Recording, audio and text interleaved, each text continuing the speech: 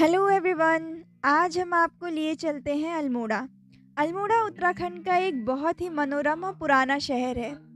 यह ऐतिहासिक शहर अपने भीतर बहुत बड़ा इतिहास संजोए हुए है।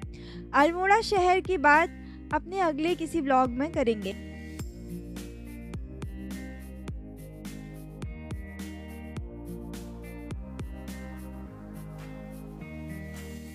आज हम बात करेंगे अल्मोड़ा से बाड़ी छीना जाने वाले रूट पर पड़ने वाले लौखुडियार की। लौखुडियार वह स्थान है जहाँ आदिकाल में मानव अपनी रात गुजारता था।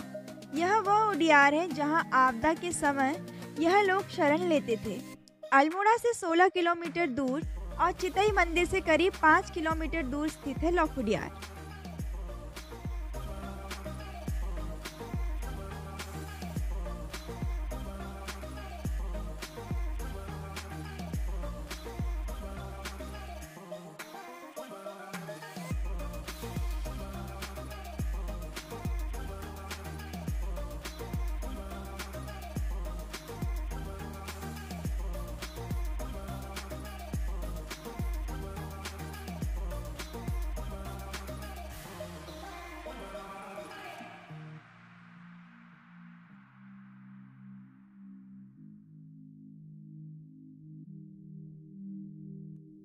सुयाल नदी के किनारे बहुत ही मनोरम स्थान पर यह गुफा है। उडियार कुमाऊनी भाषा में गुफा को कहा जाता है। प्राचीन काल में जब मानव मकान बनाना नहीं जानता था, तब वह इन गुफाओं में ही शरण लेता था। अल्मोड़ा से पिथौरागढ़ जाने वाले इस रोड पर अभी कुछ ही सैलानी इसे देखने यहाँ आते हैं। हालाँकि, अभी इसके बारे में कम ही लोगों को पता है। बताया जाता है कि उन्नीस में इसे पे, इस पेंटिंग रॉक शेल्टर्स की खोज डॉक्टर एम पी जोशी ने की थी। कई तथ्यों में इसकी खोज 1968 में भी बताई गई है।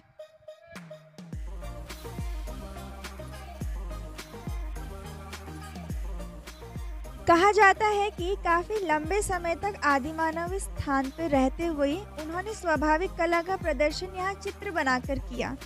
जिस समय इस गुफा की खोज हुई यहाँ नृत्य करते हुए 34 मानवों के चित्र गिने गए। एक टोली में करीब 28 आदमी भी गिने गए थे। लेकिन समय के साथ साथ अब यह सब धुंधले पड़ चुके हैं। इनमें कई चित्र शिकार करने के भी थे। इस चित्र, यह चित्र गेरू, सफ़ेद, गुलाबी और काले रंगों से बने हैं। अब धुंधले पड़ चुके इन चित्रों की कुछ छाया ही यहाँ पर नज़र आती है।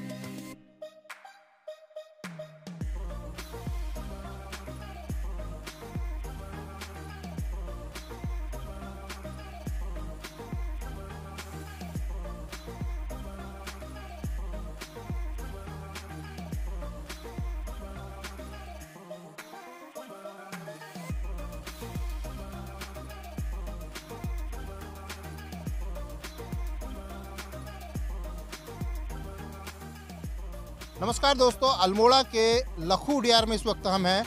आप देख सकते हैं ये लखू डियार है। आ, मानव आदिकाल में जब मानव के पास छत नहीं होती थी वो घर बनाना नहीं जानते थे उस वक्त में कहा जाता है कि वो इसी तरह की गुफाओं में रहते थे।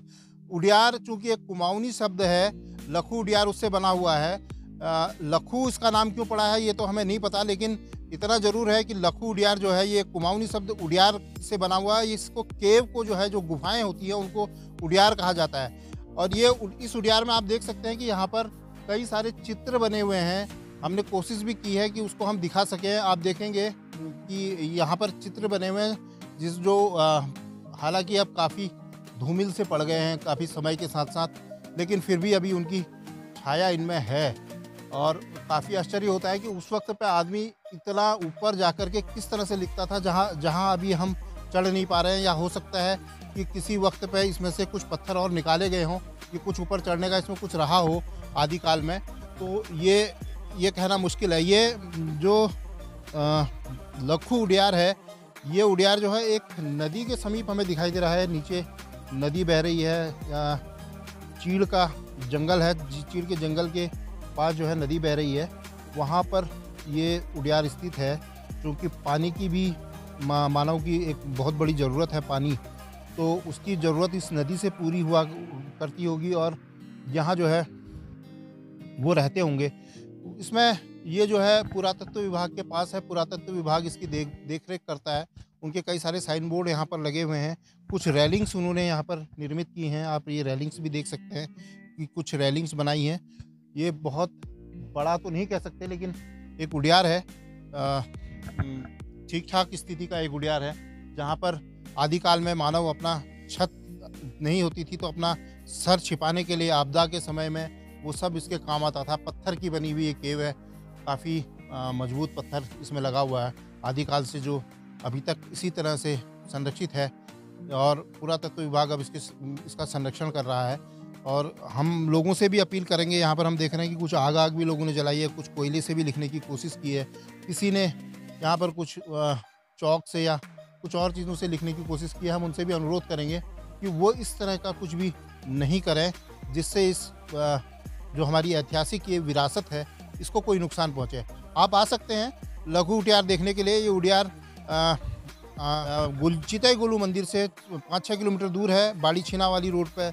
ये पड़ता है। हालाँकि वहाँ पर जो बोर्ड लगा था, वहाँ पर पाँच किलोमीटर लिखा हुआ था चितई गोलू मंदिर के पास कि लघु उडियार पाँच किलोमीटर दूर है। पेटशाला से थोड़ा आगे आप पेटसाल से थोड़ा आप आगे आएँगे तो ये लघु उडियार वहाँ पर आपको दिखाई देगा। यहाँ पर जंगल में चूँकि स्थित है तो वहाँ पर बोर्ड लगे हुए हैं। पुरातत्व विभाग ने बोर्ड लगा रखे हैं वहाँ पर। आप उससे जान, उसकी जानकारी ले सकते हैं कि यहाँ पर किस तरह से पहुँचा जाएगा। तो कुल मिला के बहुत दर्शनीय स्थल है। काफ़ी अच्छा यहाँ से व्यू दिखाई देता है। और जो भी है कुल मिलाकर आदि काल में मानव इस जगह पर रहते हुए आए हैं।